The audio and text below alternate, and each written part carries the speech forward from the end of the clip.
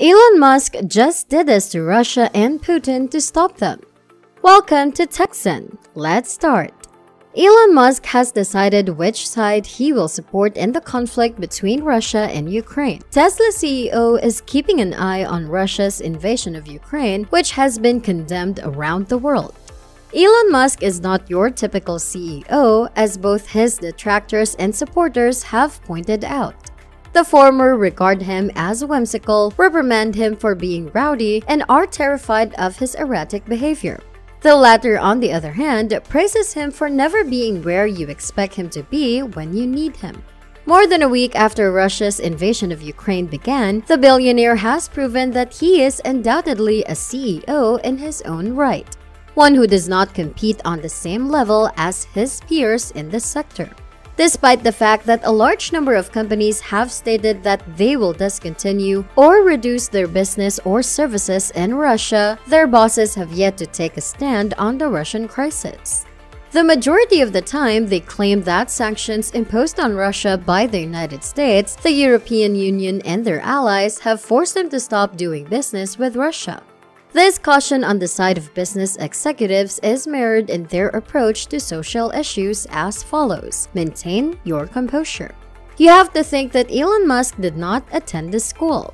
Remain steadfast, Musk says to Ukraine. As a result, the controversial businessman has chosen a side in the confrontation between Russia and Ukraine and has informed his 76 million Twitter followers of his decision. Tesla Get Tesla Inc. report chief executive officer released a comment on Facebook Friday night surrounded by three Ukrainian flags on the left and three others on the right. The message reads, Hold strong, Ukraine. Musk also made a second message, in which he conveyed his sympathies to Russia's fantastic people who do not want this. This was meant to put any doubts about his decision to rest. As Russia continued its huge onslaught in Ukraine on Saturday, razing cities and towns to the ground and causing widespread casualties, a temporary ceasefire for the beleaguered southern city of Mariupol, a coastal city, was shattered almost as soon as it was imposed. Russia, according to Ukraine's government, has violated the ceasefire agreement. According to the New York Times, Russian attacks on civilian infrastructure have prompted a mass exodus of terrified people from cities like Kiev, Ukraine's capital, and exacerbated the terrible living conditions of those who have remained.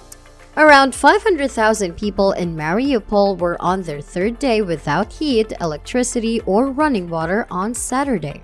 Musk dispatched Starlink satellite internet access terminals manufactured by SpaceX, another of Musk's firms, to Ukraine just a few days after deciding to back the country. Ukraine's Vice Prime Minister Mikhailo Fedorov had challenged the millionaire earlier in the day on Twitter. Musk, on the other hand, warned that these Starlink terminals are likely to be targeted by Russian hackers or other malicious actors in the future.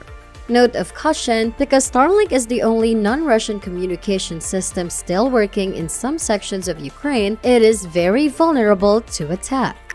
Please use this product with caution. A warning was given by the millionaire. Elon Musk, the CEO of Tesla, has issued a cyber attack warning. Only use Starlink when absolutely essential, he continued, and keep antennas as far away from people as possible. Starlink, Musk's first consumer product, provides high-speed internet to people all over the world via a network of hundreds of small, low-orbit satellites. It allows citizens in underserved areas to connect to the internet through telecom companies' fixed and mobile networks. The numerous small satellites that orbit the Earth in low orbit, about 342 miles or 550 kilometers above the surface, are fascinating. This system requires ground stations all across the world to communicate with the satellites in addition to satellites. Musk claimed on Friday night that he will not comply with some countries' request to ban Russian media access to Starlink's satellite communications network, which he did not name. He stated in his explanation that he reached this decision due to his absolutist view of free expression. Some countries have asked Starlink to block Russian news outlets but not the Ukrainian government. We will not do so unless we are compelled to do so, he scribbled a letter. Please accept my apologies for being a staunch supporter of free speech. Musk also mentioned that SpaceX will focus its efforts at the moment on combating Starlink terminal assaults as well as deliberate interference to disrupt communications. SpaceX's focus has switched away from rocket development and towards cyber defense and signal jamming. Ukraine has been the target of many cyber attacks by Russian operators since Russia invaded the country, according to Ukraine's Information Technology Security Agency. As a result, there are concerns about the country's telecommunications networks. Musk's aim of transforming SpaceX, his rocket and space technology company, into a company capable of sending humans to the moon and Mars hinges on the success of Starlink. SpaceX has now launched almost 2,000 Starlink satellites with a cumulative objective of about 12,000 satellites. Also, as we all know, the Russian invasion of Ukraine had a massive impact resulting in hundreds of deaths and millions of people being displaced. The New York Times reported that Russian and Ukrainian negotiators met again on Monday for another round of talks aimed at finding a way out of the conflict, even as Russian forces expanded their devastating offensive and the Kremlin insisted on not pulling back until all plans for the invasion are fulfilled. Musk and Putin in a battle. Musk hopes to find a solution to the problem. He appears to have a notion, which sounds like dueling, a 15th century ritual connected to the question of honor in a series of tweets on Monday. Russian President Vladimir Putin has been challenged by the billionaire. He offers himself in a fight with Ukraine as the prize. On his Twitter account, the billionaire added, I now challenge Vladimir Putin to single fight. The stakes are high in Ukraine, he added. Musk has around 78 million followers on Twitter and his tweet has already received over 161,000 likes. Musk sent out another tweet to eliminate any remaining doubts, tags the Kremlin, which he insists on saying in Russian. Are you willing to fight? At Kremlin Russia. The message has caused a stir on social media, with many people questioning Musk's sincerity.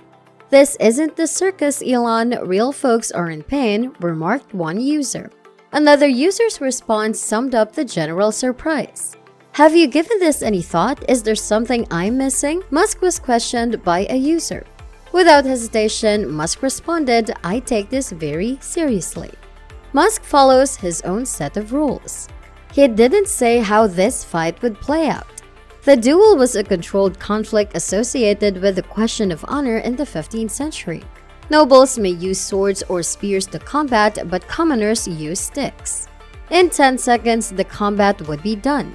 It would only depend on how much damage Elon wanted to cause and how quickly he wanted to do it.